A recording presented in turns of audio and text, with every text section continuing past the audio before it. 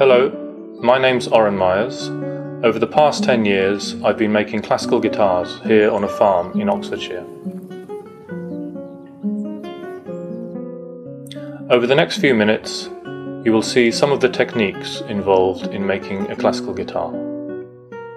Making a guitar starts with the selection of the wood. Choosing the right quality of wood that's been cut in the right way makes a big difference to the sound. The thickness of the back is very important acoustically.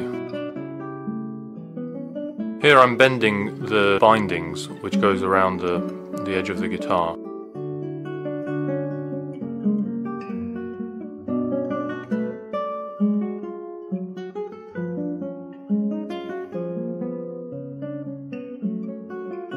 A lot of the skill of guitar making is in knowing how thick to make the sides, the back and the front part.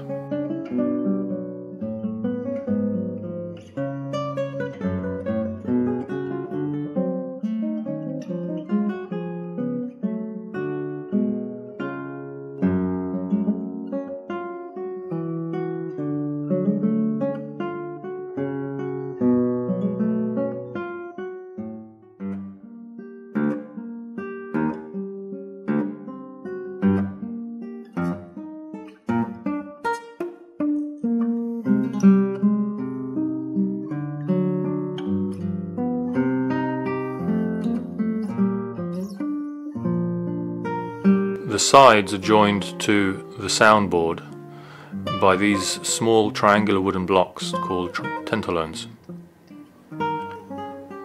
And they're glued in place using rabbit skin glue.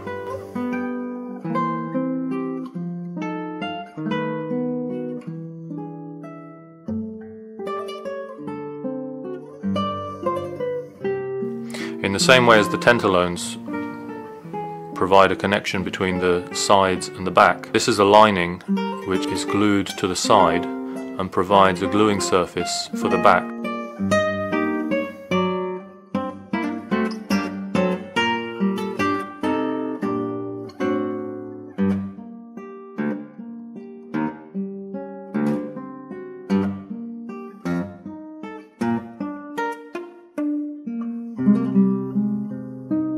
This is probably the most exciting part of the making process when all the components which I've been working on separately come together.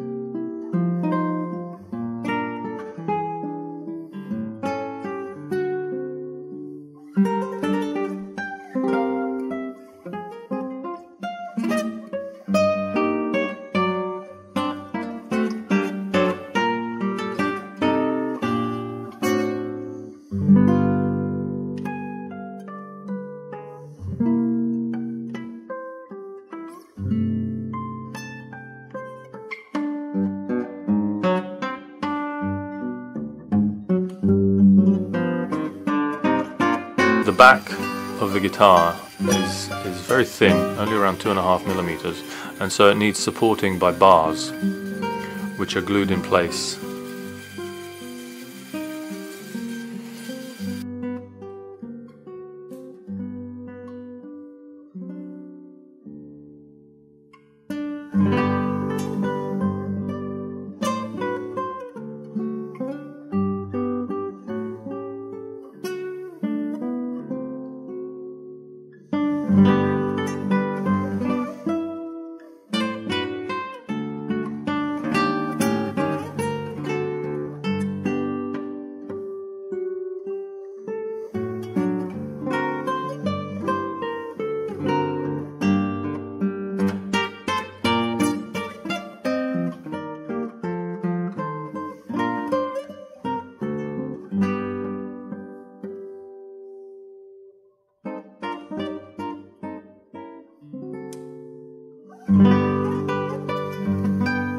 When clamping the back, it's important to have clamping pressure all the way around.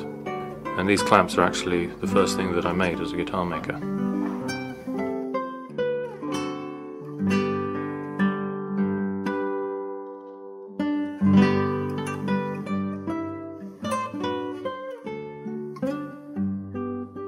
French polishing is the last thing that you do in the process of making the guitar. Polish is made of shellac which is dissolved in alcohol and as it's rubbed over the, over the wood the alcohol evaporates leaving a nice evaporation trail and with thousands of layers you build up a nice warm finish. The soundboard is the most important part of the guitar. It's where a maker puts his individuality and his personality into the instrument and distinguishes himself from every other guitar maker, even people using the same design.